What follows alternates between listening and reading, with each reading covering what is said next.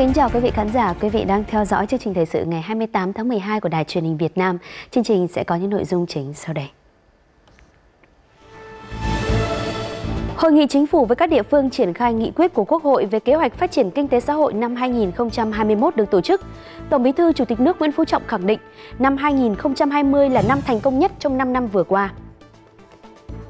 Việt Nam đã hoàn thành tốt các nhiệm vụ trên cương vị Ủy viên không thường trực Hội đồng Bảo an Liên Hợp Quốc trong năm đầu tiên của nhiệm kỳ, được dư luận quốc tế và các học giả đánh giá tích cực.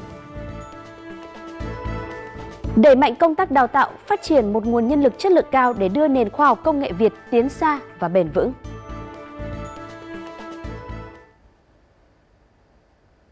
Sau đây là nội dung chi tiết. Thưa quý vị, sáng ngày 28 tháng 12 tại trụ sở chính phủ đã diễn ra hội nghị chính phủ với các địa phương triển khai nghị quyết của Quốc hội về kế hoạch phát triển kinh tế xã hội năm 2021. Tham dự hội nghị quan trọng này có Tổng Bí thư Chủ tịch nước Nguyễn Phú Trọng, Thủ tướng Nguyễn Xuân Phúc, Chủ tịch Quốc hội Nguyễn Thị Kim Ngân và các lãnh đạo Đảng và Nhà nước. Tại hội nghị tổng kết công tác năm 2020, triển khai thực hiện nhiệm vụ kế hoạch phát triển kinh tế xã hội năm 2021, Tổng Bí thư Chủ tịch nước Nguyễn Phú Trọng khẳng định năm 2020 là năm thành công hơn năm 2019 và là năm thành công nhất trong 5 năm vừa qua. Nhìn lại năm 2020 và 5 năm thực hiện nghị quyết đại hội 12 của Đảng, Tổng Bí thư Chủ tịch nước Nguyễn Phú Trọng nhấn mạnh, năm 2020 là năm có nhiều khó khăn thách thức lớn, bệnh dịch và kinh tế sụt giảm đã ảnh hưởng rất nặng nề không chỉ đối với nước ta mà còn đối với toàn thế giới. Tuy nhiên trong bối cảnh rất đặc biệt đó, nhờ có quyết tâm cao và sự nỗ lực bền bỉ của toàn Đảng, toàn dân, toàn quân, đất nước vẫn hoàn thành khá toàn diện các mục tiêu với nhiều điểm mới, vượt trội và dấu ấn nổi bật. Nổi bật là mấy điểm sau đây. Thứ nhất là đã từng ứng phó rất nhanh chóng, kịp thời, linh hoạt, có hiệu quả với thiên tai dịch bệnh, đặc biệt là đại dịch Covid-19. Dưới sự lãnh đạo của Đảng, sự quản lý, điều hành của nhà nước, toàn hệ thống chính trị và đồng bào chiến sĩ cả nước đã vào cuộc đồng bộ, quyết liệt, kiểm soát tốt được dịch bệnh, ứng phó kịp thời với thiên tai bão lũ, từng bước khắc phục có hiệu quả thiệt hại do thiên tai dịch bệnh gây ra, củng cố tăng cường niềm tin của nhân dân đối với đảng, nhà nước và chế độ xã hội chủ nghĩa của chúng ta. Các tổ chức quốc tế, nhiều nước và các hãng thông tấn báo chí có uy tín trên thế giới đã ghi nhận, đánh giá cao việt nam là đất nước tuy còn nhiều khó khăn về kinh tế, nhưng đã trở thành một hình mẫu về cách thức kiểm soát dịch bệnh đạt hiệu quả cao nhất với mức chi phí ít nhất là một trong những tấm gương phòng chống dịch bệnh và thể hiện trách nhiệm uy tín cao trong quốc tế khu vực về phòng dịch. Tổng Bí thư, Chủ tịch nước Nguyễn Phú Trọng khẳng định chính sự thành công trong phòng chống đại dịch COVID-19 đã tạo điều kiện cho phục hồi và phát triển kinh tế xã hội. Việt Nam được đánh giá là một trong 16 nền kinh tế mới nổi thành công nhất trong năm 2020.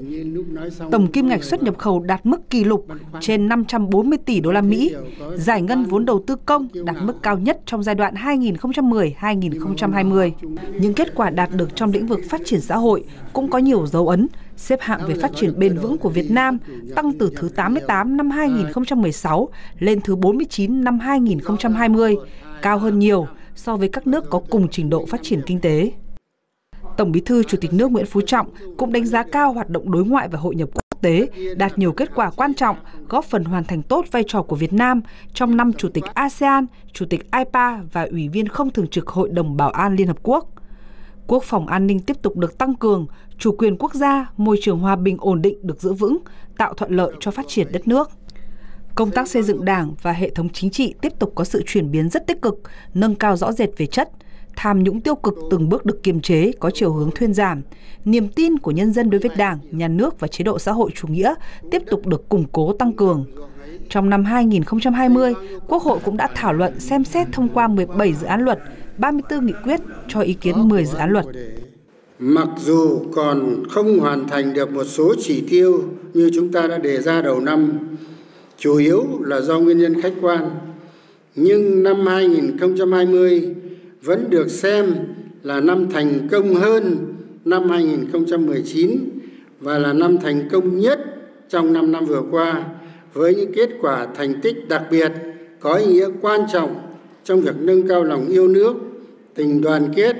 niềm tự hào dân tộc, niềm tin của nhân dân vào sự lãnh đạo của Đảng, sự quản lý của nhà nước và tính ưu việt của chế độ xã hội chủ nghĩa nước ta. Về phương hướng nhiệm vụ năm 2021, Tổng Bí thư Chủ tịch nước Nguyễn Phú Trọng đề nghị chính phủ, chính quyền các địa phương và toàn hệ thống chính trị triển khai thực hiện tốt ngay từ đầu năm nghị quyết đại hội 13 của Đảng, các nghị quyết của Trung ương, Quốc hội và Chính phủ bằng những chương trình kế hoạch công tác cụ thể với tinh thần chung là phải chủ động, tích cực hơn, năng động, sáng tạo hơn, đạt được kết quả tổng thể cao hơn các năm trước và nhiệm kỳ trước. Tổng Bí thư Chủ tịch nước Nguyễn Phú Trọng cũng yêu cầu xây dựng và tổ chức thực hiện thật tốt kế hoạch hàng năm cũng như kế hoạch 5 năm 2021-2025 gắn với chiến lược 10 năm về phát triển kinh tế xã hội theo đúng tinh thần nghị quyết đại hội 13 của Đảng, Tổng Bí thư Chủ tịch nước Nguyễn Phú Trọng tin tưởng sau hội nghị này với niềm tin mới, khí thế mới, động lực mới, chính phủ và chính quyền các địa phương sẽ nỗ lực cao hơn nữa, năng động sáng tạo hơn nữa để thực hiện thắng lợi mục tiêu nhiệm vụ đề ra cho năm 2021 và cả nhiệm kỳ khóa 13.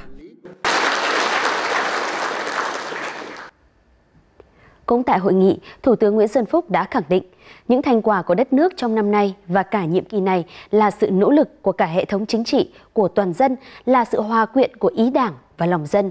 Vì thế, dưới sự lãnh đạo của đảng, toàn đảng, toàn dân cần gìn giữ ngọn lửa khát vọng, tinh thần lạc quan cho 5 năm tiếp theo và xa hơn nữa. Thủ tướng Nguyễn Xuân Phúc nhắc lại, 5 năm trước, khi chính phủ bắt tay vào thực hiện kế hoạch phát triển kinh tế xã hội 5 năm, nền kinh tế đang phải đối mặt với rất nhiều khó khăn. Còn hôm nay nhìn lại, kinh tế tiếp tục tăng trưởng cao, mọi người dân được hưởng thành quả phát triển,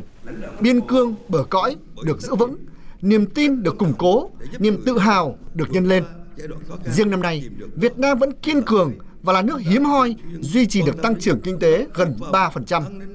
Đến thời điểm này, Việt Nam đã đạt được mục tiêu kép trong phòng chống dịch COVID-19 và duy trì tăng trưởng kinh tế.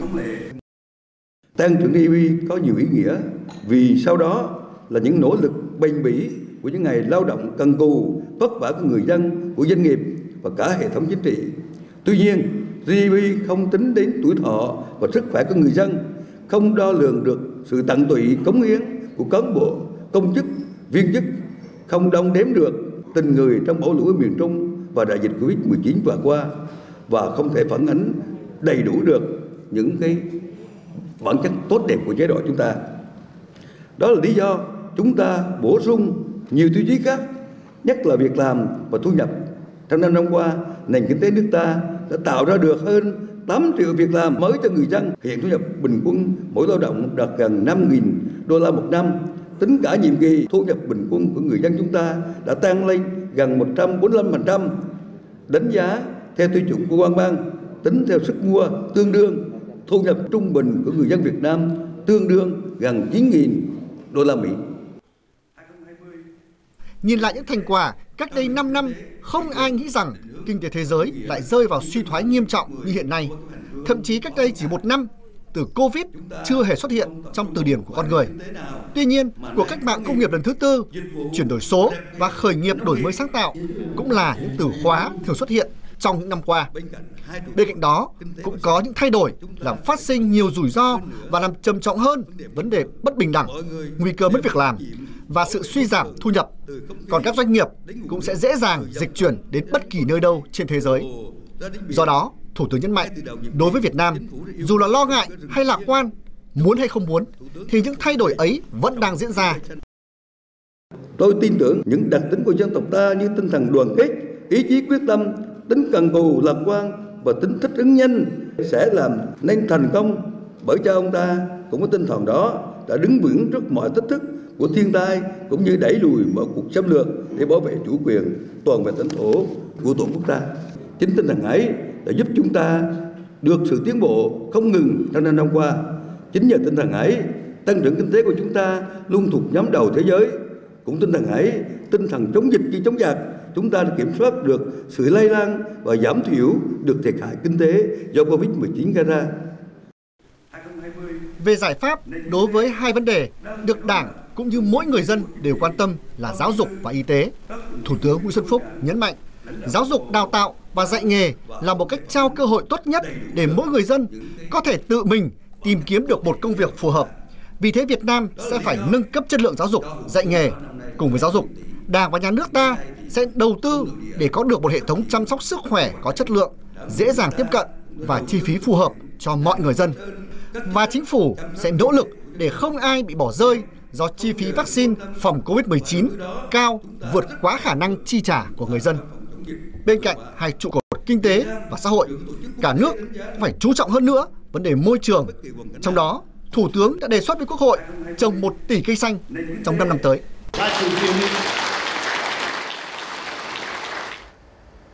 Và trong ngày làm việc đầu tiên của hội nghị trực tuyến giữa chính phủ với các địa phương triển khai nghị quyết của Quốc hội về kế hoạch phát triển kinh tế xã hội năm 2021, lãnh đạo của 20 tỉnh, thành phố trong cả nước đã phát biểu với nhiều đánh giá và đề xuất kiến nghị với chính phủ. Thưa quý vị, Việt Nam đã hoàn thành tốt các nhiệm vụ trên cương vị Ủy viên không thường trực Hội đồng Bảo an Liên Hợp Quốc trong năm đầu tiên của nhiệm kỳ, được dư luận báo chí, truyền thông quốc tế và học giả quốc tế đánh giá tích cực, khơi dậy niềm tự hào và củng cố sự tin tưởng của nhân dân. Đó là khẳng định của Thứ trưởng Ngoại giao Lê Hoài Trung trong cuộc họp tổng kết năm 2020 của Tổ công tác liên ngành về việc Việt Nam đảm nhận cương vị Ủy viên không thường trực Hội đồng Bảo an Liên Hợp Quốc diễn ra vào sáng ngày 28 tháng 12 tại Quảng Ninh với sự tham gia trực tuyến của phái đoàn đại diện thường trực Việt Nam tại Liên Hợp Quốc. Tại cuộc họp, các đại biểu đều nhận định về việc tình hình quốc tế trong năm 2020 diễn biến nhanh chóng, phức tạp và khó lường đã tạo ra nhiều khó khăn, trở ngại với hoạt động của các thể chế đa phương, trong đó có Hội đồng Bảo an Liên Hợp Quốc. Trong bối cảnh ấy, Hội đồng Bảo an đã xử lý khối lượng công việc lớn, đa dạng với gần 400 cuộc họp cấp đại sứ, trưởng phái đoàn và hàng trăm cuộc họp cấp làm việc thông qua hơn 100 văn kiện, chương trình nghị sự. Là thành viên tích cực và có trách nhiệm, Việt Nam đã chủ động tham gia đóng góp và hoàn thành tốt nhiệm vụ Ủy viên không thường trực Hội đồng Bảo an trong năm đầu tiên của nhiệm kỳ. Chúng ta đảm đương những cái nhiệm vụ được giao cho, ờ, trong đó có việc làm Chủ tịch Hội đồng Bảo an ờ, là những cái nhiệm vụ mà chúng ta phải làm khi anh làm Ủy viên không thường trực Hội đồng Bảo an Liên Hợp Quốc. Nhưng qua đó thì chúng ta đã đóng góp được như thế nào về vấn đề À, duy trì hòa bình, an ninh quốc tế và khu vực. Là một cái vấn đề liên quan lợi ích thiết thân của chúng ta. Một cái đất nước hội nhập quốc tế như vậy mà môi trường quốc tế khu vực mà diễn biến phức tạp nó ảnh hưởng ngay đến à, quá trình phát triển đất nước của chúng ta. Đảm nhận Chủ tịch Hội đồng Bảo an luân phiên trong tháng 1 năm 2020, Việt Nam đã đề ra các sáng kiến xây dựng chương trình nghị sự hợp lý và xử lý linh hoạt các vấn đề phức tạp nảy sinh – trong năm 2020, Việt Nam cũng đã thể hiện vai trò dẫn dắt khi tổ chức cuộc họp 10 nước ủy viên không thường trực, đương nhiệm và 5 nước mới trúng cử ủy viên không thường trực. Cùng với đó là hội nghị quốc tế về tăng cường vai trò của phụ nữ, tiếng nói của Việt Nam, vì thế ngày càng được cộng đồng quốc tế ghi nhận, coi trọng và lắng nghe. Với tất cả những cái uh, chủ trương, đường lối đúng đắn, cộng với lại cái cách thức ứng xử của chúng ta Ờ, nó đã tạo ra được một cái niềm tin của cộng đồng quốc tế uh, đối với Việt Nam. Qua đó thì chúng ta đã uh, đã tăng cường quan hệ với các nước như nào để các nước không chỉ có thúc đẩy quan hệ hòa bình chính trị an ninh chúng ta mà qua đó nó có cái tác động lan tỏa tới các cái quan hệ về mặt kinh tế, về mặt đầu tư, về mặt uh, hợp tác. Cũng tại hội nghị, các đại biểu đã thảo luận các giải pháp nhằm tăng cường hơn nữa sự phối hợp, chia sẻ thông tin giữa các bộ, ngành trong công tác nghiên cứu, dự báo tình hình và tham mưu chính sách liên quan, hướng tới mục tiêu tiếp tục hoàn thành tốt nhiệm vụ Ủy viên không thường trực trong năm 2021, đặc biệt trong dịp Việt Nam làm Chủ tịch Hội đồng Bảo an lần thứ hai vào tháng 4 năm 2021. Trong phần tiếp theo của chương trình, các địa phương đồng bằng sông Cửu Long tăng cường kiểm soát dịch bệnh COVID-19, trong đó đặc biệt là siết chặt các đường mòn lối mở, ngăn chặn các đối tượng nhập cảnh trái phép. Việt Nam đẩy mạnh công tác đào tạo, phát triển nguồn nhân lực chất lượng cao để đưa nền khoa học công nghệ Việt tiến xa và bền vững.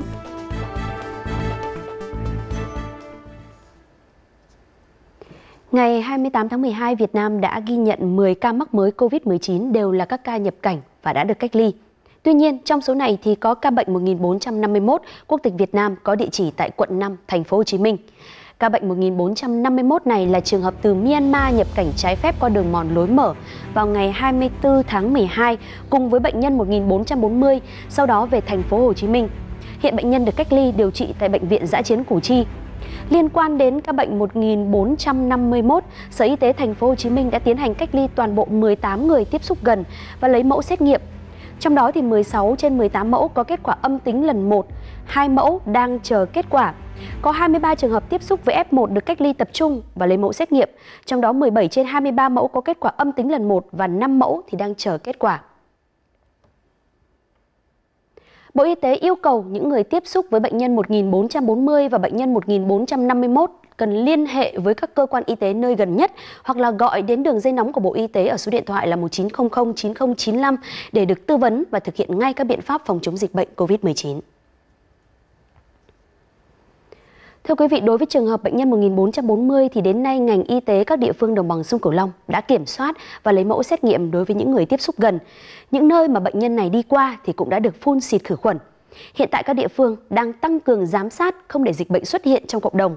siết chặt các đường mòn lối mở, ngăn chặn các đối tượng nhập cảnh trái phép.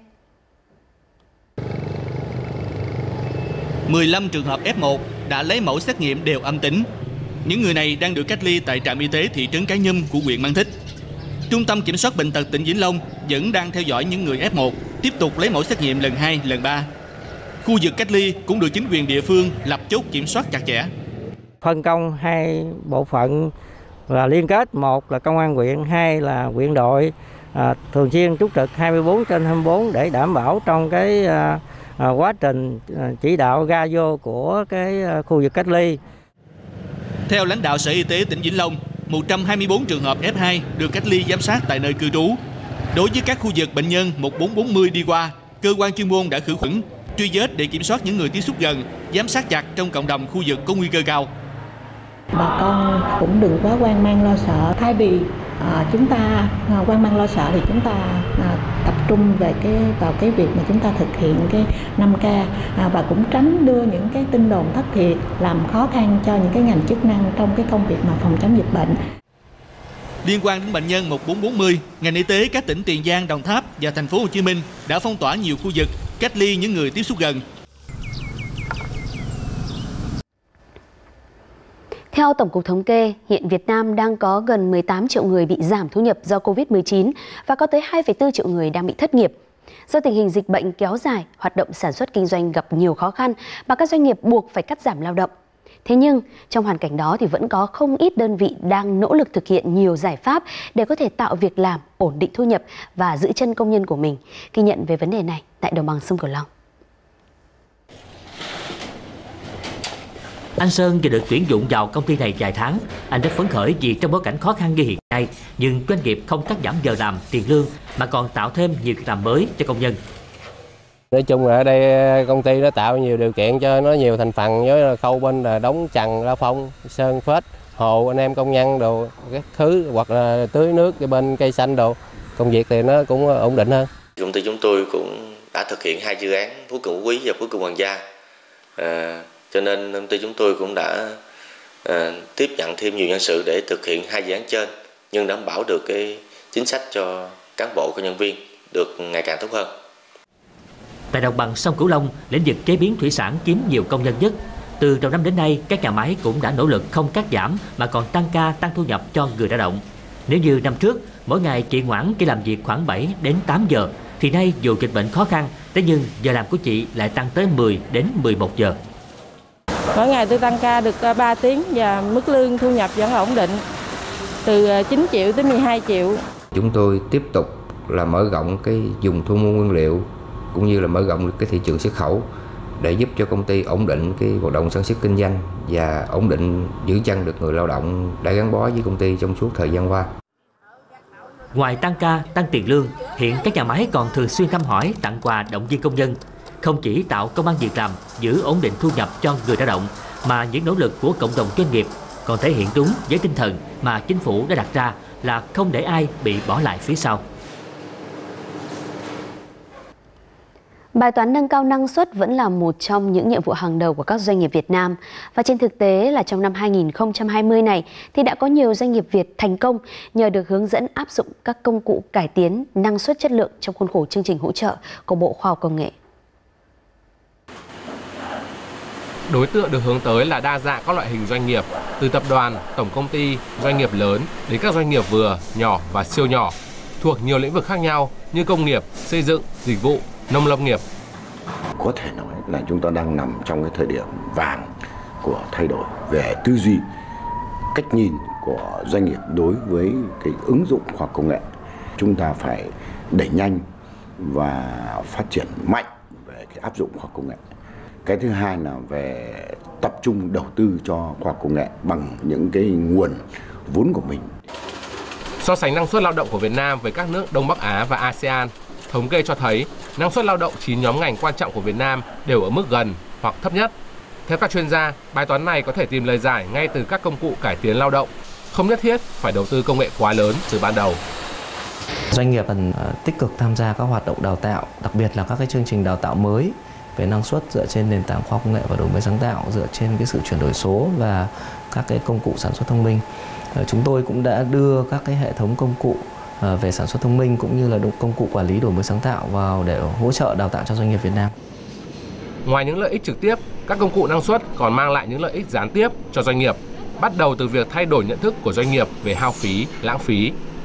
Trên thực tế, hệ thống quản lý môi trường ISO 14001 đã góp phần cải thiện chỉ số đổi mới sáng tạo toàn cầu của Việt Nam. Hiện Việt Nam đạt 38,8 điểm trên thang điểm 100, đứng thứ 3 về đổi mới sáng tạo trong khối ASEAN. Thưa quý vị, Việt Nam có 237 trường đại học và học viện. Thế nhưng hiện nay thì số trường đào tạo về chuyên ngành máy tính, trí tuệ nhân tạo hay là khoa học dữ liệu vẫn còn hạn chế, bao gồm cả về trang thiết bị, giáo trình học tập để có thể đáp ứng được nhu cầu thực tiễn của các doanh nghiệp với mong muốn phát triển nguồn nhân lực chất lượng cao để đưa nền khoa học công nghệ Việt tiến xa và bền vững, Viện Nghiên cứu Dữ liệu lớn Vin Big Data, tập đoàn Vingroup đã triển khai các chương trình hỗ trợ, học bổng, chương trình đào tạo, góp phần nâng cao chất lượng nhân lực khoa học công nghệ Việt Nam trong tương lai. Năm nay, lần đầu tiên các học viên thạc sĩ về khoa học dữ liệu, Đại học Khoa học Tự nhiên, Đại học Quốc gia Hà Nội được tiếp cận với những giáo trình quốc tế về các môn chuyên ngành như khai phá tập dữ liệu lớn hay nhập môn suy diễn thống kê. Đây là những giáo trình được trường Đại học Khoa học Tự nhiên mua lại bản quyền và được biên soạn, giảng dạy bằng tiếng Việt dưới sự hỗ trợ của Quỹ đổi mới sáng tạo Vingroup thuộc Viện Nghiên cứu Dữ liệu lớn Vin Big Data. Cùng với các giáo trình quốc tế, cơ sở vật chất để phục vụ giảng dạy như máy tính, máy chiếu cũng đã được đầu tư đây là những hỗ trợ thiết thực cho các học viên nhằm nâng cao hơn nữa chất lượng đào tạo sau đại học. Cái hiệu quả lớn nhất ấy, giúp cho là nhà trường cũng có cái nguồn lực để nâng cao chất lượng đào tạo, thu hút được những cái học viên giỏi nhất. Chúng tôi có thể là sử dụng cái tài trợ để mời các cái ờ, cả các những giảng viên đến từ doanh nghiệp tạo cái sự gắn kết kết nối giữa nhà cái doanh nghiệp tốt hơn nữa. Trường Đại học Khoa học Tự nhiên Đại học Quốc gia Hà Nội là một trong năm đơn vị được nhận hỗ trợ từ Quỹ đổi mới sáng tạo Vingroup thuộc Viện Nghiên cứu Dữ liệu lớn Vin Big Data. Bên cạnh việc hỗ trợ đào tạo cho các trường đại học, học viện, tháng 8 năm nay, lần đầu tiên, chương trình phát triển nhân lực lĩnh vực trí tuệ nhân tạo và khoa học dữ liệu Vingroup đã được Vin Big Data triển khai. Chương trình đã tạo điều kiện cho các học viên xuất sắc về khoa học công nghệ được đào tạo, hướng dẫn trực tiếp bởi các chuyên gia, nhà khoa học đầu ngành từ khắp nơi trên thế giới. Đến nay, 120 học viên đã chuẩn bị hoàn thành chương trình đào tạo chuyên môn. Tiếp đó, sẽ trực tiếp tham gia các dự án công nghệ trọng điểm của Vingroup. Mình được làm việc dựa trên những cái vấn đề của thực tiễn, mình có những cái tư duy để trực tiếp giải quyết những vấn đề đấy. Mình được chỉ dạy bởi những chuyên gia đầu ngành trong cái lĩnh vực này, cũng như được tiếp xúc với các bạn có rất nhiều các cái nền tảng khác nhau, ờ, nhiều ngành học khác nhau và tất cả các bạn đều rất là giỏi và có thể giúp đỡ nhiều rất nhiều cho công việc của mình sau này. Thông qua các hoạt động hỗ trợ đào tạo nghiên cứu khoa học thì chúng tôi hy vọng có thể góp phần để tạo ra một cái lực lượng nòng cốt à, à, tinh hoa có đầy đủ kỹ năng, năng lực cũng như là đạo đức để cùng nhau xây dựng những cái sản phẩm, những cái giải pháp công nghệ à, có khả năng cạnh tranh những cái sản phẩm hàng đầu trên thế giới à, phục vụ cho người Việt. Cùng với việc đầu tư vào chương trình đào tạo, Vingroup còn cấp học bổng sau đại học cho các học viên, nghiên cứu sinh trong nước. Đây là học bổng hướng tới tạo điều kiện cho học viên, nghiên cứu sinh phát huy khả năng nghiên cứu, sáng tạo về khoa học công nghệ và nhìn nhận việc nghiên cứu này là một nghề trong môi trường khoa học. Một đội ngũ nhân lực được đào tạo chuyên sâu hứa hẹn là những nhân tố dẫn dắt sự phát triển của khoa học công nghệ nước nhà trong tương lai với những giải pháp công nghệ made in Việt Nam. Chương trình thời sự của Đài truyền hình Việt Nam đến đây là kết thúc. Cảm ơn quý vị khán giả đã quan tâm theo dõi. Để xem trực tuyến kênh VTV4, quý vị có thể truy cập địa chỉ website vtvgo.vn hoặc là tải ứng dụng VTV Go từ kho ứng dụng Google Play hoặc App Store. Kính chào tạm biệt và hẹn gặp lại quý vị.